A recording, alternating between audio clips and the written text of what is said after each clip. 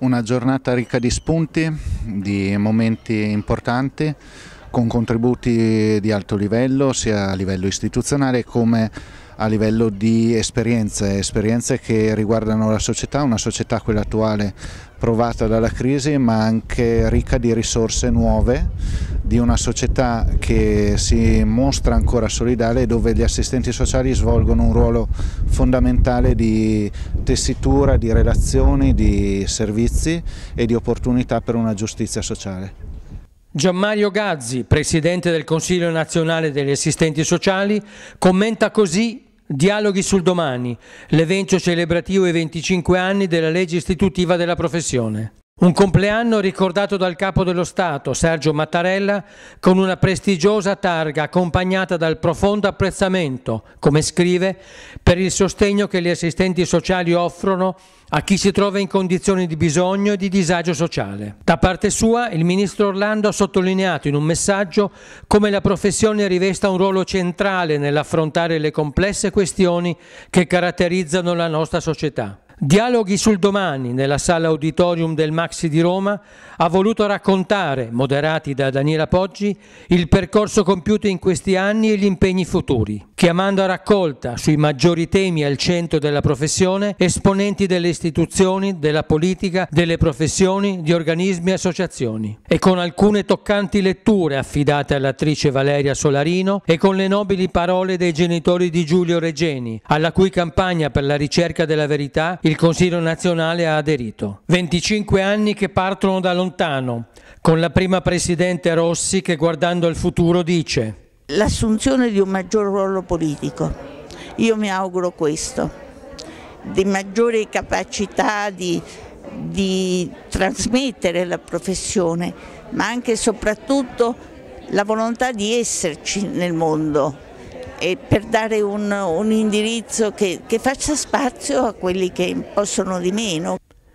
con le presidenze della scomparsa Fiorella Cava, quelle di Franca Dente e di Edi Samori, presenti con un messaggio, fino a quella di Silvana Mordeglia, che pensa alla professione, come, come sta cambiando e come si sta radicando nel, nel contesto sociale e di questo io sono molto contenta. Penso occorreranno altri 25 anni perché davvero questa eh, trasformazione possa essere piena attraverso i percorsi formativi, la formazione continua, la passione di, di tanti di noi. Sentiamo ora le voci di alcuni dei protagonisti di Dialoghi sul domani. Abbiamo imparato che per curare bene eh, un anziano non autosufficiente, per eh, dare una prospettiva a un bambino e farlo crescere bene, ci vogliono quello che a volte sembrano cose del passato ma che invece sono diritti ancora non acquisiti e cioè la rete integrata dei servizi sociali, rete integrata dei servizi sociali. Questa parola purtroppo si sta cancellando dal dibattito politico e culturale del nostro paese e io sono indignata, preoccupata, preoccupata e dobbiamo combattere perché si riparli di valore dei servizi sociali. Una professione assolutamente decisiva, in crescita, a 25 anni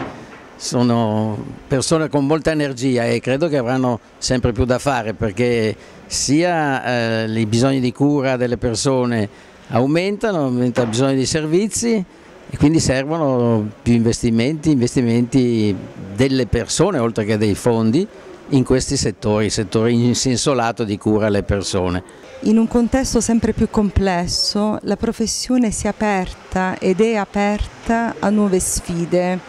quelle di una società non semplice, in continua evoluzione. Da qui la collaborazione con l'autorità garante per l'infanzia e l'adolescenza in tante attività, nelle visite di monitoraggio nei centri di accoglienza dei minori stranieri non accompagnati, nell'attività di formazione degli aspiranti tutori volontari. Tante sfide aperte richiedono un collante fra ambiti anche professionali diversi. Continuare nel percorso di crescita dimostrato in questi anni, di assumere finalmente anche dal punto di vista del consenso tra le persone eh, la, il giusto valore, quello che è effettivamente il valore importante della professione che non è soltanto una questione tecnica ma è proprio quella incredibile eh, capacità di costruzione di rete sociale, di coesione sociale eh, che troppo spesso non viene invece assolutamente riconosciuto, a cominciare dalle istituzioni. Dobbiamo continuare a lottare per questo. Penso che sia molto positivo che oggi gli assistenti sociali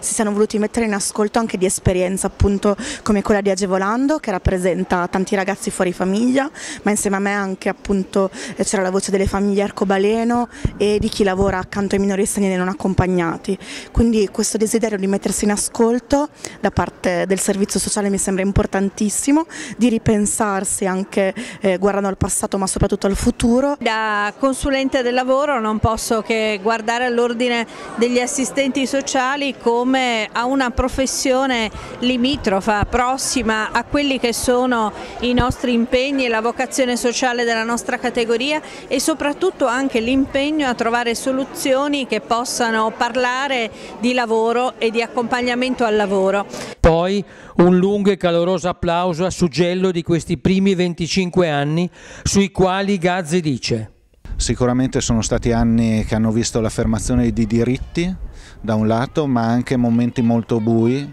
come ad esempio quelli legati all'azzeramento di tutti i fondi per il welfare.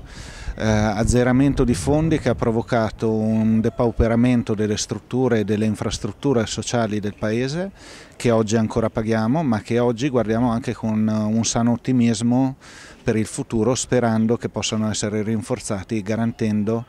quelle opportunità che la Costituzione ci impegna a dare. Aggiunge Gazzi. Serve una maggiore formazione, una formazione più specifica rispetto a ciò che sta cambiando intorno a noi. E sulla targa del Capo dello Stato dice infine il Quirinale è un punto di riferimento per la nostra comunità professionale e per tutto il Paese. Il riconoscimento che ci ha dato oggi il Presidente Mattarella ci inorgoglisce e soprattutto ci spinge a essere migliori per questo Paese.